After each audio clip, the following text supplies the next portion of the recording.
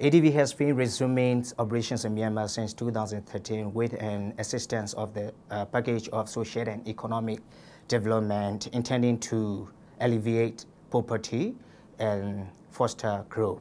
And then ADB implementing the interim country partnership strategy. I'd like to say that my sincere thanks to being with us to sit interview with Mizzima Media. So what is the purpose of your visit to Myanmar at this time.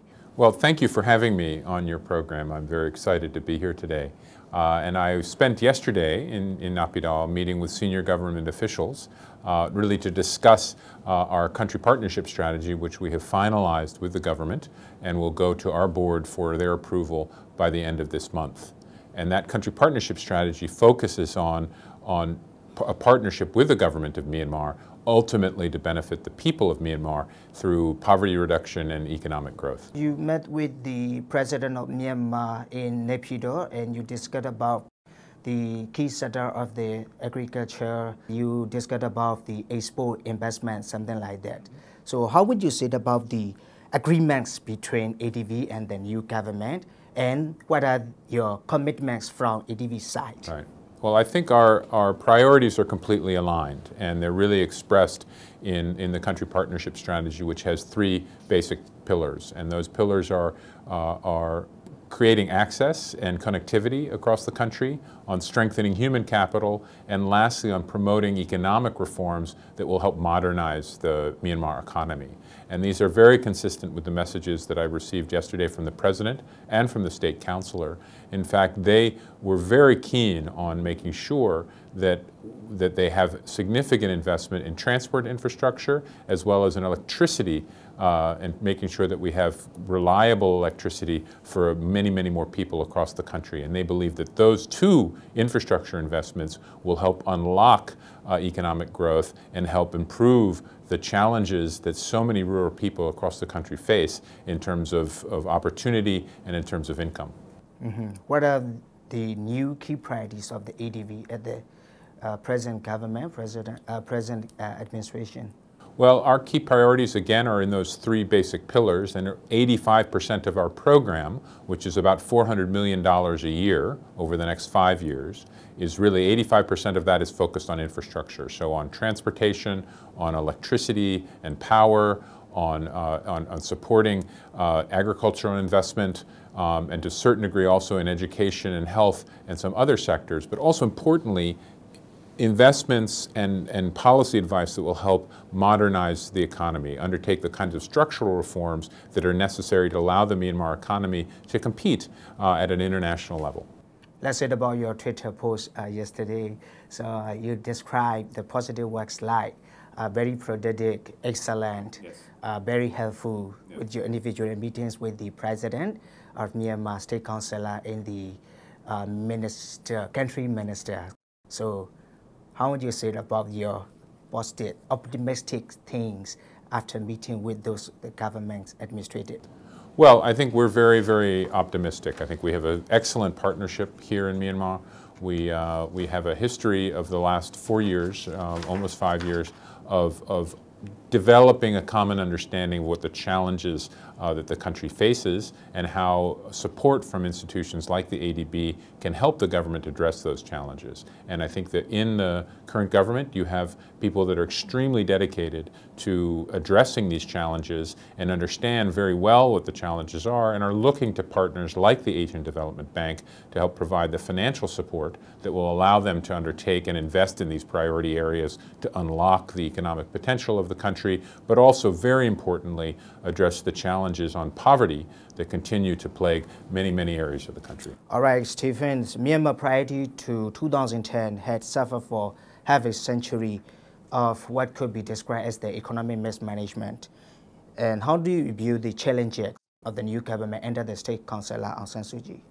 Well, I think the challenges are, are, are there, there are very large challenges that the country faces, but at the same time, there's real potential in this economy. I think if you look at the geographic location that Myanmar occupies between South Asia, between Southeast Asia and East Asia, that there, where there's huge amounts of growth and economic opportunity, Myanmar is right in the middle of all that. Myanmar has a young uh, population that is, uh, that is, that is, and a lot of these other countries have aging populations. So there's a lot of opportunity that exists within this economy. Natural resource base that's very extensive. Agriculture production, which can be, can be, productivity can be enhanced and improved to supply neighboring countries with agricultural products and produce that will help drive this economy further. So there's a lot of potential in this country, and it's just a matter of, of good economic policy that will help unlock that potential. And we believe that this government is committed to seeing that through. Okay, Stephen, you uh, are responsible for a full range of the countries in Asia how do the challenges in Myanmar differ compared with the other countries? How would you say about that? Well, I think in many ways, every single country is unique, and they possess, you know, unique features that create specific challenges, and whether those be related to uh, geographic constraints or whether they related to some countries are landlocked, other countries are not landlocked, some countries are archipelagic, meaning that they have to, they're not connected all by roads, they have to be connected by ferries or, or, or maritime transport. So each country has its own set of challenges, and so Myanmar certainly has its set of challenges, but it also has a real opportunity in the fact that because you've seen delayed development in this country over the last half of a century, it can look to neighboring countries and learn lessons from mistakes or, or, or, or, or positive lessons from good decisions that these countries have made, which will allow them to leapfrog their development. So I think it, it's really a unique point in time for this country that positions it very well to, to, to take advantage of these opportunities uh, according to the statistic of the ADB, 25.6, uh, more than 25 uh, percent of the Myanmar population lives, they lie with the uh, poverty. And the, most of the people who lives in the rural area, are including in the agricultural sector.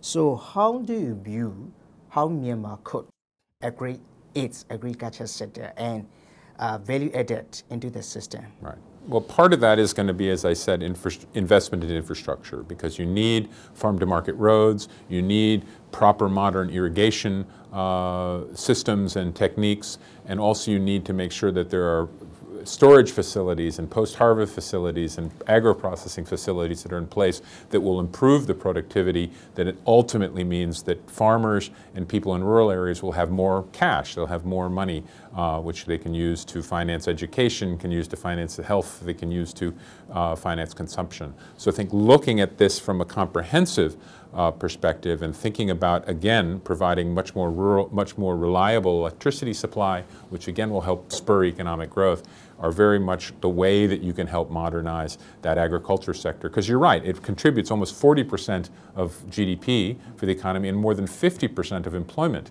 is in the rural sector. So it's an important focus, and I think this government is focused on that, and that's the right, uh, right focus. When the president of the ADB, uh, Takeshi Nakao, came to Myanmar in the mid 2016, so he told media uh, to give Myanmar uh, between 150 to 350 US dollar millions starting from this year. So how is going on? The, what is the proceeding uh, in at the new government the, this year? So how would you say about that? And I would like to know about the what commitments. So where the added to the, your, your trip to Myanmar. Right. Well, I think that indeed we're very much on track for that commitment, that we are, we are setting aside about $400 million a year of, of, our, of our finance to, to invest in, in, in Myanmar. So we're very much on track to the commitment that President Nakao made when he visited last year. Uh, as far as what this visit does to help move that along, is that we've articulated this new country partnership strategy, which, as I said, will go to our board uh, at, at, the end of this month. And so this was a really good time of vis to visit to have, have, final discussions on, on the direction of that partnership strategy, number one. Number two, we also focused a lot of our discussions on implementation of the existing set of projects that have already been approved and are, are underway. Because it's not just the commitment of additional finance that's important, but it's also actual execution and implementation of the set of projects and programs that exist now. And so trying to smooth out the implementation and making sure that that's going well is critically important to address the, the real challenges that this economy faces. So how would you say that, how do you build the credit critical the priorities of the Myanmar. What does government need to uh, do? Which areas in agriculture or infrastructure or education or vocation? So I think if you look at, at, at, at, the needs of this economy going forward and making sure that you can continue on the same trajectory of economic growth, a focus on, on, on the rural sector is critically important because that's where a majority of, of, of employment resides. I think looking at, at skills and making sure that you have graduates from, from secondary school uh, and from uh, technical and vocational education as well as tertiary and university education that they have sets of skills that are useful to the, to the job market is, is critically important. And then lastly, I think reliable electricity and power supply. This is absolutely critical to the private sector uh, in order that they can continue to be a source of growth, but equally importantly, a source of employment and jobs. So these areas, you know, uh, rural sector infrastructure, education, and, and, and energy and power supply are critically important. And, and I think these are focuses of this, of this government and focuses that we completely support. So can you tell us the uh, detailed investment amount to each sector, to the government?